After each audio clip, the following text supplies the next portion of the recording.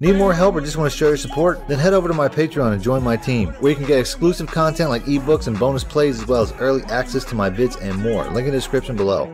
Welcome back, YouTubers and Madden fans. This is Madden Moneyshot, sniffing out the Madden cheese as always. I got some plays for you today out of the pistol playbook. Oh my goodness. Look at this playbook. There's only four different sets here pistol, goal line, Hail Mary, and special teams. That's why I pretty much tried to stay out of these specialty playbooks like West Coast and Run Balanced. And I know they're not all like this, but the pistol playbook is, pretty ridiculous. It has 25 formations out of the pistol and nothing else. Uh, with that being said, though, these specialty playbooks always have a hidden gem in them that makes them worth using. And this particular playbook, I found exactly that. It is out of the pistol weak slot flex. This particular formation and this particular particular play got me so jacked when I saw it. Uh, the first play I'm going to show you here, and that's the uh, the halfback toss weak. This play right here was one of the first plays that I put out in Madden like two years ago in Madden 16 when I started this channel, and I thought that they got rid of it. I thought this that they it was so dominant and it was so hard to stop that I thought they completely removed it from the game. It's not the same formation it was back then. I would pop a link um, so, so you guys could see that, but it would take way too long to go back through all the old all the old videos to find it. But it's a little bit different. See how the fullback is kind of a tight end. He's in uh, he's in tight to the line of scrimmage. You'll see once I get into the play. Uh, but if you guys do know another form another book that this play is in or this formation is in, let me know because I went through all of them and I'm pretty damn sure it's not. Um, so let's go ahead and let's pick that play. Halfback toss week. Uh, if you want to see part two of this, hit the like button. I'll do that because I, probably got enough for two or three part series out of this formation alone. Now I put in my speed back. Barner is uh, one of my favorite running backs entire game. He probably won't be an Eagle next year. Um, as you can see too, I got my Super Bowl losing Patriots on the other side, so we're gonna go. We're gonna try to recreate the ass whooping that the Eagles put down uh, on this team. Uh, first thing you can do if you want to is motion out this tight end slash fullback. Uh, like I said, this is kind of like uh, there's a formation in the Packers where the where the, he's just kind of behind the line like that. I'm not really sure. It's out of the gun. I don't really remember the name of it. But um, for, for the pass plays that I'm gonna show you, motioning out this tight end slash fullback is pretty critical. So it's really up to you if you want to keep that consistent. I would say if your opponent is setting up a play, it's probably good to just run it right away so they don't have a chance to set their defense. I'm gonna go ahead and move the ball over just a little bit. I just want a little bit extra room to the sideline. And then, like I said, I'm just gonna rapid fire it. Just, just, just imagining that realistically, my opponent won't have a chance to set their defense up the way they like. That's about a 10 yard run there. Let's go ahead and let's run this a couple different times. I'm expecting way more. The blocking on this can be so legit. As you can see right there, look how that receiver gets off, goes to the next level, and I get that touchdown. Let's go. That probably could have been better there. I gotta be honest, the R2 button on this controller kind of sticks, so I don't know if I got all the acceleration that I want there. I really gotta get a new remote. Um, this is costing me quite a bit. So here, I mean, on average, I'm gonna get five easy yards but I'm really expecting more. I'm getting about five every time easy, but I really should be getting more. There we go. We get some nice blocks, a nice little clip block there by uh, by Trey Burton to spring me.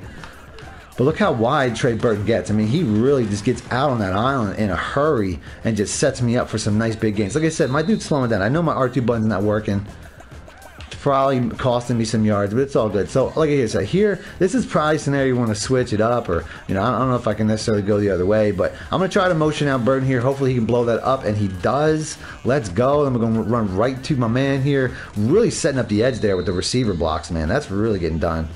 So even in going into a heavy blitz like that, with that free safety down the box, guaranteeing that he's going to come, uh, I still ran into it with no problem and got a big gain. Uh, I also want to point out too that when you motion out this tight end slash fullback, I keep calling it, um, he's going to change his blocking based on whether you motion him out or not. If you leave him in, watch how wide he loops on this blocking scheme. Look how wide he gets a sprint out. That was not the best run. I probably should have took it a little bit left there, but it's all good.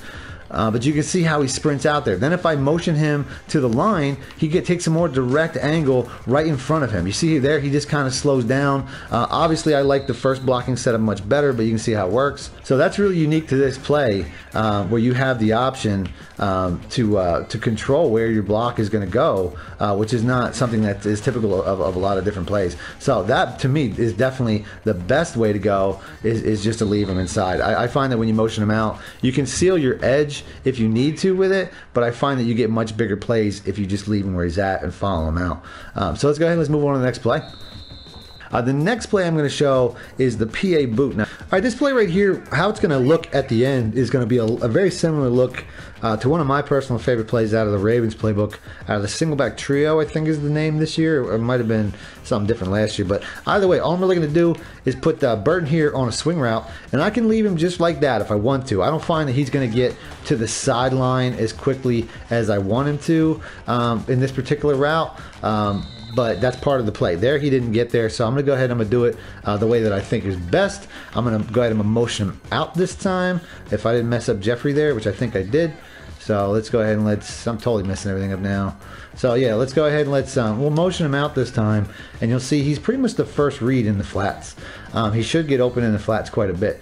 Uh, other than that, uh, my Ertz, my tight end there, I can leave him doing that. It's not a bad play. He plays off of Jeffery high and low pretty good. I can put him on a slant and he'll pull coverage across from Jeffery, and I can put him on a drag and he'll get open uh, underneath. So that, that's really up to you.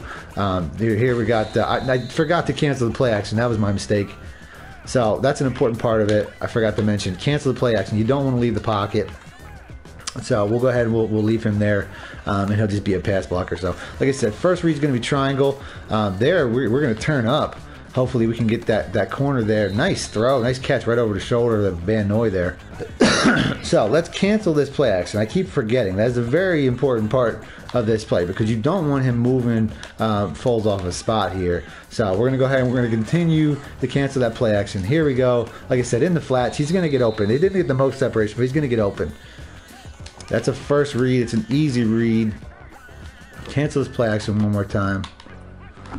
So I'm going to use the slant because, like I said, Ertz, I really like that slant. So let's continue to use that. Here we go. Look at that flat. I mean, that's just, it's an easy 5 to 10. He gets almost 15 there. Every. I mean, I want to take that every time. Plus, it's instant. You can't get heat on a play like this if Burton's beating that flat up like that. So once again, going to cancel that play action. Not going to forget that. Not one more time. So let's go ahead and let's do this. Here we go. We got that triangle route again. Like I said, I'm going to have that all game. You know I mean? That's that's 10 to 15 right there. Once again, really easy. So I would like to, I think I'll leave Ertz doing what he's doing. Because, like I said, he'll pull coverage against Jeffery. That's part, part of his thing. And this is a scenario where the play action is not really that bad, um, considering that you want to kind of run out to that tight end in that zig route. So in, th- in that scenario, that um, I w- I wouldn't say it's a bad idea to leave that play action because, especially if a mobile quarterback, in this scenario, you're going to roll out. Ertz is either going to be open or the circle route's going to be open. You can see how that how Ertz pulls that linebacker out of the window, so that's kind of good. So we're going to run this one more time. I'm going to leave Ertz like he is, and I'm going to go ahead and I'm going to roll out his way. Here's a good pass block right there. Here's that man blitz I was talking about. If you get that man blitz, Jeffery, who's a little bit faster than going, but if you get that man blitz, uh, Jeffery is definitely going to be a great play.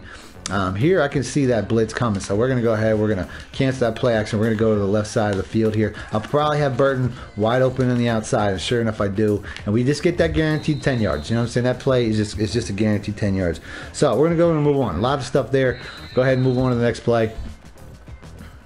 That's it for part number one. I'm gonna go ahead and leave it just like that. Two really good plays. Uh, plays. One play, which, like I said, I thought that play they took that out. That's how good that that run play is. I thought that they they deleted it from the game because it was it was so easy mode two years back. Uh, I'm glad to find it again. And I'm definitely gonna try to throw it into my custom playbook, but I tried to find it and I couldn't even find it in the custom section. So if you find the custom section under a different name, please let me know in the comment section because I couldn't find it. Other than that, uh, if you want to see part two, hit the like button. I'll do that. And that's it. Thanks for watching Mad Moist It Out.